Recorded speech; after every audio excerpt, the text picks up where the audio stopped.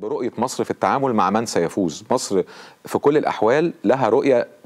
للتعامل مع من سيفوز أو من سيحكم البيت الأبيض في الفترة القادمة خلينا أقول أنه إحنا السياسة الخارجية المصرية بتعتمد فكرة التوازن في نمط العلاقة م. بمعنى أنه توجيهات السيد الرئيس بيقول تملي العلاقة تقوم على الندية في العلاقة ايا كانت ال ال الإدارة جمهورية أم أمريكية. وإحنا بنتمتع بعلاقة جيدة مع الأمريكان في شراكة استراتيجية في شراكة سياسية لكن في مساحات تجاذب كبير. ما بنحبش نتكلم فيها أحيانا لكن هي مهم إن إحنا نقولها. إنه صحيح إن في شراكة آه استراتيجية وعسكرية ولينا طيار نافس في الإدارة الأمريكية اللي هو طيار وزارة الدفاع. م. طيار وزارة الدفاع في أمريكا فاهم قوي وبيدرك وشايف إنه مصر هي أهم دولة في الإقليم. أنا بقول إحنا طبعا عشان نقول هذا الكلام شهادتنا مجروحة. لكن هو شايفك إنه أنت أهم دولة في الإقليم. م. وأهم دولة في الإقليم أنت بتبني عليها استراتيجيتك. الأمريكان شايفينك إن أنت دولة محورية دولة رئيسية في الإقليم. م. وليك دور مهم جدا في أي مسار بتمضي فيه السياسة الأمريكية. وعشان ده يفسر لحضرتك ليه بي ليه حاطين ملف غزة القضية الفلسطينية مع حضرتك مش مع أي طرف آخر؟ م. يعني كل الأطراف بتتحرك انطلاقا من مصر. م. وكأن مصر هي بالفعل بتحدد بوصلة الاتجاهات مع إسرائيل مع حماس مع الفصائل الفلسطينية مع السلطة مع الأطراف العربية الأخرى. فبالتالي أنت دورك مركزي في هذا. في مساحات مناكفة آه طبعا في مساحات مناكفة في التجاذب في العلاقة فيه. يعني إحنا بنعمل مناورات النجم الساطع مع الأمريكان سنويا دي مناورات مهمة جدا للأمريكان أي المساحات الأعلى المناكفة أم التجاذب لا ال ال صعب. لا مش صعب هو أنا هقول لحضرتك المناكفة فيها جزء من التجاذب والتباين في المصالح م. بمعنى إيه يعني أما أما يجوا يناقشونا في بعض القضايا فيكلمك على قضايا الديمقراطية والحرية والليبرالية ودي شؤون داخلية م. لا نريد أن نفتحها مع الأمريكان م. وبتبقى سخافة أمريكية. أنا بكلم حضرتك كأستاذ جامعي وأكاديمي ومختص بالملفات دي. فإحنا دي أمور داخلية. وبالتالي إحنا بنحاول نقلل مساحات التجاذب ده. يعني لما يجي يقول لي على قضايا الحرية والديمقراطية وجايب مصادر مجهلة أنا كراجل أكاديمي بقول له هات لي المصادر اللي أنت اعتمدت عليها.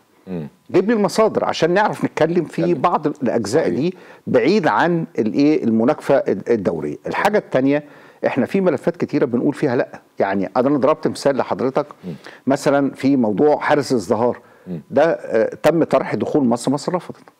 وبالتالي آه في اعتبارات معينة في ترتيبات أمنية في الإقليم بيطلب من حضرتك فيها على اعتبار إنك شريك مع الولايات المتحدة. خلي بال حضرتك الأمريكان علاقتنا بيهم في معاهدة السلام جيمي كارتر موقع جنب السادات جنب مناحم بيجن أيوه. ثلاثة في الوثيقة. فإحنا بنتعامل مع الأمريكان في شراكة وفي علاقة م. كاملة بيننا.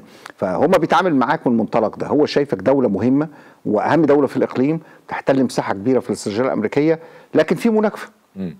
المناكفة دي بقضايا داخلية موضوعات خاصة بالأسلحة لكن هو حريص على التعاون العسكري. يعني يجي يعمل معاك مثلا آه ودي مهمة قوي التدريبات البحرية. ليه البحرية؟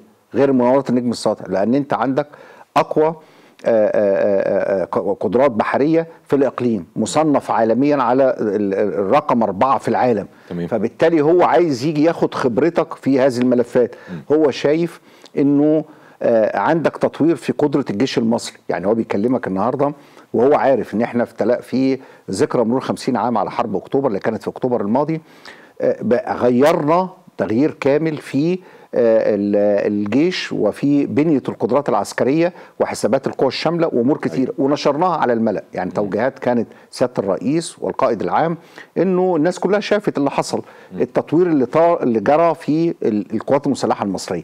لكي توضع في مصاف الجيوش والعالمية. النهارده حضرتك مصنف ما بين ال 12 وبين ال 14 وفق تقارير SIPRI و RAND وال INSS. تقارير دوليه ما تعرفش تحابي حد.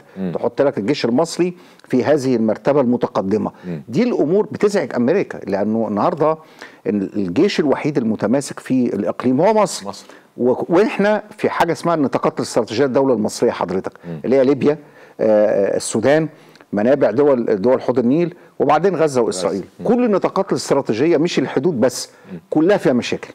وأنت بتتعامل كلها. فأنت بتتعامل مع نطاقات استراتيجية متوترة. أيوه. من مصلحة أمريكا إن تشوف هذا البلد مستقر. أنت عند حضرتك الحمد لله استقرار سياسي وعندك استقرار أمني.